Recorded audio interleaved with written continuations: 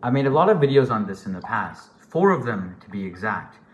And people still don't seem to understand, you know, how it works. So this is the final episode, the fifth part, and the final episode. By the way, don't subscribe to my channel if you like this content because I'm not making any more of these. Subscribe to my channel if you like my Minecraft video essays. I made a community post and a lot of you guys said you wanted this, and so I give the people what they want. The knowledge of my audience, not smartness, but knowledge, right? It ranges from really smart to not so smart. Some like to call me a genius, and some like to call me This is the comprehensive guide to Keyboard Mouse Gaming on iPad OS.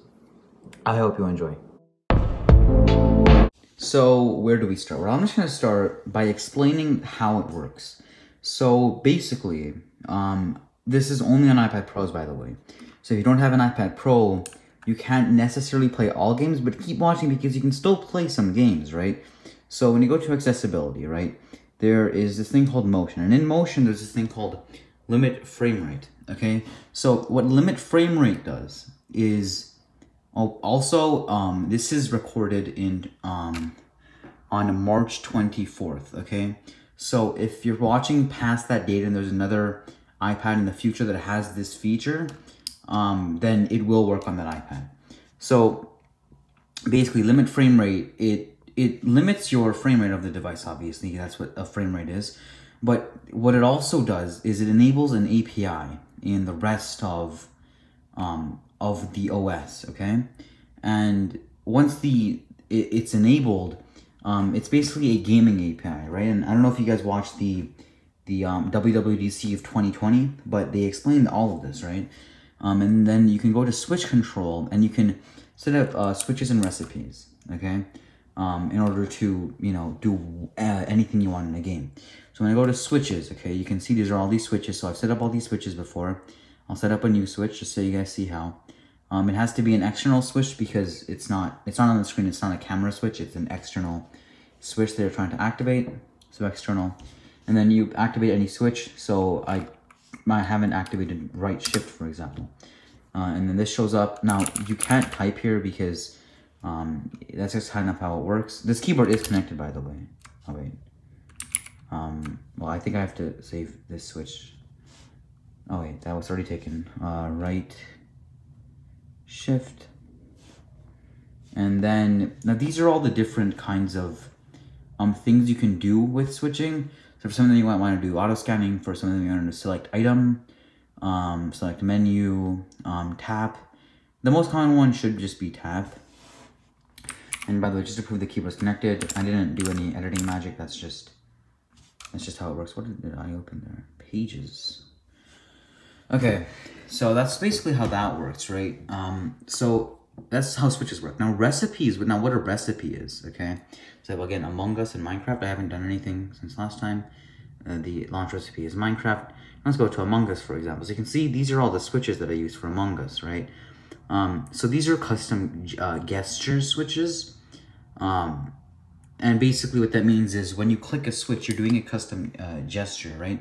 But the thing with the gaming API is that um, I don't really know how to explain it necessarily, but basically, um, whenever you have custom gestures, um, iOS is smart enough um, with the, the new iPad Pro chips to understand, you know, what what you're doing um, without, you know, being completely like it, it understands that you're trying to activate the gaming API, and so it it'll look at these switches, it'll and you know it'll it'll automatically um do those actions right okay so i'm not going to do any cuts now because a lot, lot, lots of people thought that i was screen sharing from a different computer and then i was playing minecraft on here and acting like there was keyboard mouse which that, that wouldn't really make sense um mainly because this is a 4x3 screen and if i screen share from a pc unless that monitor was also 4x3 it wouldn't make any sense so anyways, you just saw me boot up the whole game. Now, the thing is I have to um, go to settings, boom, profile 2. Okay, so now, you can see here, all my buttons are here. Now, here's one very specific thing that people didn't realize last time, is that you see here that I'm moving around, but the joystick here isn't actually moving. This is what I was talking about. It's it's a gaming API that you have to enable, right? And you can see I'm moving forward, holding space. Uh, wait, wait, what? Going forward, I'm holding space. I'm going diagonally. Um, if I let go, uh, let's see. If I'm I'm going forward, I let go of W, and you can see I start going straight up. And then again, when I hold thing, I go sideways. Um, and yeah, it, it works perfectly fine. I've also found some other keys. So my R is my is my um like my pet or I guess it's called a mount in this game. Um, let's see, all my air, all my buttons map to my different um items. Um, my control is my cursor change. If you look very closely and I press control, you can see that cursor changes right there. Um, yeah, I don't know. My my E is is, is my hook shot. Um, so I can I can hook shot. Um, oh, my, my H is my heal. My B um, is my mana potion. Um, and my R, or not my R, I, I think it's Y is my buff. Oh wait, never mind. I, I already, oh wait, uh, I think B is buff actually, yeah. I activated all my buffs by accident, whoops. Um, but yeah. Yeah, that it's it's just Terraria, right? Like I'm not an MS map and I can move around arrow keys with the map.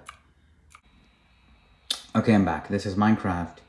And you say, oh, that was a suspicious card. You know, well, first of all, multi-key input is working. I mean, it was working before as well, but uh, multi-key input is working, like, obviously. But the mouse actually, it also works, right? See, I'm clicking, I'm clicking, I'm clicking. And he's moving, I'm not clicking, and I can move around. Um, so I actually didn't change anything from the last, I mean, I did change the launch recipe, but aside from that, I didn't change anything. Now, I know you might still be a little bit suspicious, right? Um, that, oh, I'm screen sharing from another PC, but if I am, then explain this. This keyboard is to this iPad, so that, that doesn't make sense. And you can see that my keyboard can only connect to one device at once. Okay, if I change it, actually, I can, I can prove you guys wrong here. If I turn the keyboard off, hold on turn the keyboard off and then back on.